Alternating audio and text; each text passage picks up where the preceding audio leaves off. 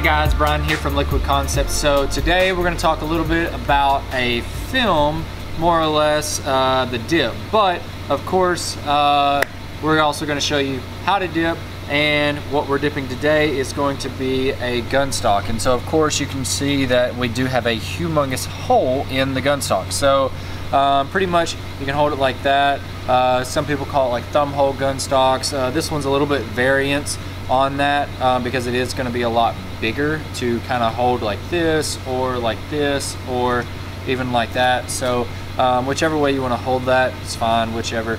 Um, but uh, we are dipping this in a, uh, a, different pattern and this one is actually going to be the mossy oak uh, green leaf. And so pretty much it's if you're not uh, familiar with it it's the old school bottomlands mossy oak bottomlands and then you of course have the green leaf all in it. Uh, really popular with uh, turkey hunters and uh, anybody that hunts down in like bottomlands type of camouflage uh, areas or anything like that. So um, we've got a gun stock here that we're dipping in that. So we figured we'd shoot a quick little video, show you guys a few things with it, uh, what we've seen, and that way you can see the end result. So with this one right here, I am actually going to be going and doing a, uh, a roll on this gun stock. Now again, you could easily tape this off half. There's a nice little parting line right here uh, that was made into the mold. So um, you can go ahead and do that and tape off half of it and do it just like any of our other videos that we've done on double dipping a gun stock. But um, this one we figured we're gonna go ahead and try to roll it. And so pretty much uh, just to kind of show you here before we get it in the water, um, rolling a gun stock, it definitely takes a lot of practice and a lot of time because you have to come down into the water like this and then you have to slowly go down into the water like this. Now again, you do not just want to go flat like this right here, all right? So what you're gonna actually notice is whenever I go down, I'm gonna go down more right here and then I'm gonna come in like this and then I'm gonna slowly roll it in. And so that helps get all this air from here, bringing it out into here. And then of course, once I make it halfway, then now I have the water down this whole half and then all the way up into here in half. And so once I have that, then I'm going to take and roll it the other half of the way. And so the other thing is, of course, you don't want to just roll it all the way down. You actually want to keep a little bit of an angle like that as you're going down into the water with it. And so you'll see that as we as we dip it. And so what that's going to do is, is it's going to give me a nice pattern coming up and around like this right here.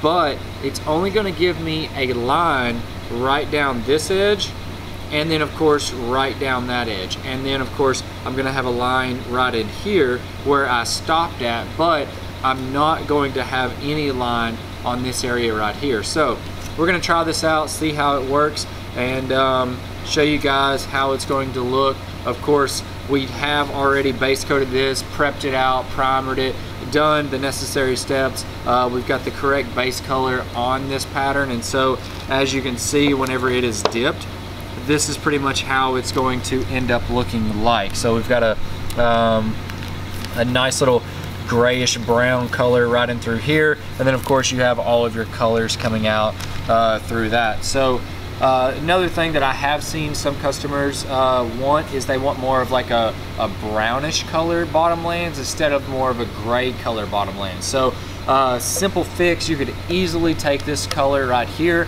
um, throw it on like say a brown or something like that, uh, nice tan somewhere uh, in that area of color range and then you can get yourself more of a brown or tan color instead of uh, this grayish color. Now again, um, we just went ahead, we sprayed it with the recommended base color that came with it. So this is what the customer wanted, so this is what we're doing. But you could change that if you wanted to. So let's go ahead and lay this out. Now I've got plenty of room on the excess right here to allow my hands to go in and then roll. And so we've got a couple of inches up right through here. And then we'll roll it over and then we'll take this, come up here, and then go across. Now, um, on something like this, because this is wanting to roll up just a little bit, uh, just to make sure that it's a little bit easier for me to get in the water and everything, I'm just gonna take and set a couple of pieces of tape right down here and put a line all the way across here. And then of course, once we have how far that we need, then give ourselves a couple of inches of room and then go all the way across with it just like that. So now that we have that, we can go ahead, cut the edge of that and cut this all the way across. And now we're ready to lay it in the water. Now, the one trick that I have found with this film right here after using it a little bit is that it normally likes a little bit longer soak time. Um, I don't know why, it's just probably the way that the film is made, but um, the colors seem to hold a little bit better and they seem to work a little bit better if you do give it that extra soak time. So what we've done is we've actually increased our soak time to about 90 seconds, so about a minute and a half, and then we'll spray our activator, and then of course we'll dip the part. So of course the activator that we're using, um, it's actually going to be our Liquid Concepts activator. Uh, if you have any uh, questions on it, you can see the description, the link below. Uh, we'll have a link to it if you're interested in that. And so pretty much we'll take this now, we'll throw it in the water, and then let's roll a gun stock. So here we go.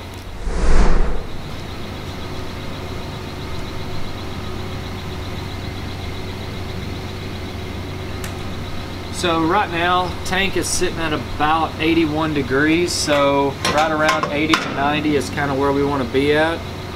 And so we'll go ahead and pull this back in a little bit. Drop that down.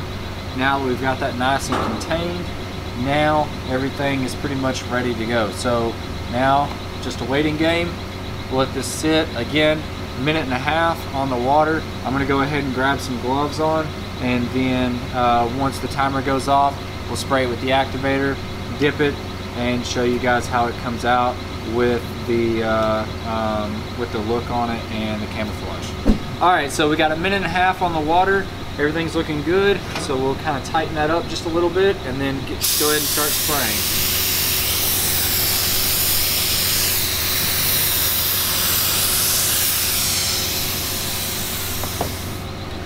All right, so we're gonna take a look at this, make sure everything looks good, which everything looks like it's glassed out all the way around, which is exactly what we what we want. So let's go ahead, get everything set up for our dip and roll. So again, I'm gonna start like this. I'm gonna come in just like that.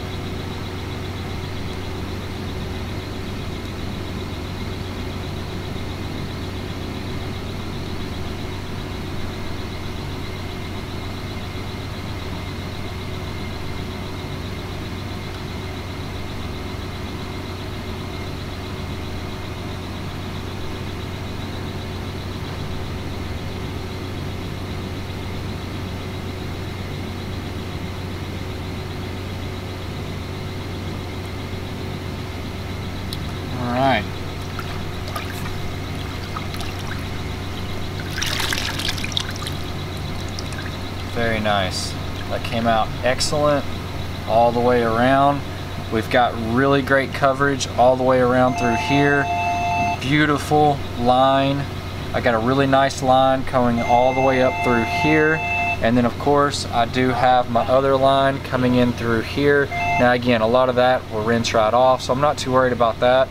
But all in all, I would say this is definitely a great hit all the way around great coverage and wrap all the way around into here. And even if you're looking down into here, I don't know which way you need to take a look at that, but you can kind of see as it's going down in there. Um, we got really good coverage all the way around on the inside. So uh, definitely a really good hit. So um, think this will be this will be a great hit. So let's go ahead. We'll get this in the rinse station. We'll get it rinsed off, dried off, clear coated, and show you guys the end results. So stay tuned. All right, so we've got everything rinsed off. We got everything touched up. Uh, everything's been clear coated. I think this stock came out amazing. So uh, as y'all saw uh, just recently, of course, we dipped it in a single dip. We rolled everything, and then of course now here it is on the end result. So um, just like before, like what I was saying, we've got a really nice, beautiful pattern coming all the way down through here. We have a really good area all in through here that got covered really well. Uh, of course, we do have our line that comes down here, and then we have our line that comes down through here. And then, of course, on the other side, we'll flip this over like that. That way it's back to the normal way that you'd be looking at it. Um, we have a really nice, beautiful pattern coming along through here. And so everything came out really amazing. Even the wraparound all the way around into here uh, looks really good. So all in all, I would definitely say this is definitely a big uh, success. The customer is definitely going to love it. Um, hopefully this video has really helped you guys out. Uh, if you haven't already, definitely hit the subscribe button. We'd love to have you subscribe to our weekly tips and tricks videos that we do every week on anything hydrographics related. Also, if you like the video, give us a big thumbs up. We'd love to uh, have that from you. And um, also, too, let me know in the comments section, what did you think about the dip? Did you like it? Uh, have you seen other techniques? You know, anything like that, even other things for other videos, definitely leave them in the comment section below. We'd love to hear from you on anything that you got hydrographics related. I'm Bryan from Liquid Concepts, and this is how we customize your world. We'll see you guys next time.